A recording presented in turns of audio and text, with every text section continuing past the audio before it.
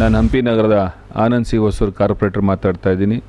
ನನ್ನ ward number ನೂರ ಮೂವತ್ತ್ಮೂರು.